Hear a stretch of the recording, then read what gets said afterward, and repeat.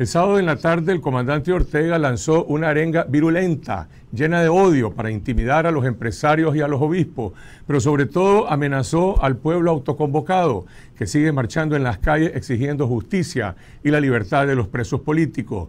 Esta mañana las amenazas de Ortega se cumplieron y el ataque paramilitar dejó un muerto de solo 16 años, que no cayó en ningún fuego cruzado, como alega cínicamente la policía, sino que fue asesinado por los paramilitares, como han dicho sus familiares. Y además causó cinco heridos, entre ellos el periodista de Café con Voz, Winston Potosme. Nosotros condenamos este nuevo crimen que únicamente viene a confirmar que Ortega es solo el jefe supremo de la represión pero está política y moralmente inhabilitado para gobernar porque tiene las manos manchadas de sangre.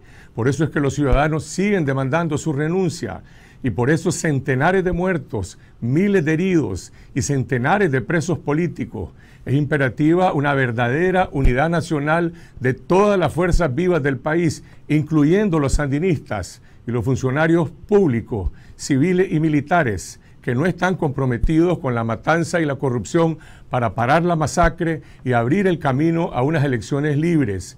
Eso es lo que desde hace cinco meses ha venido demandando la rebelión cívica.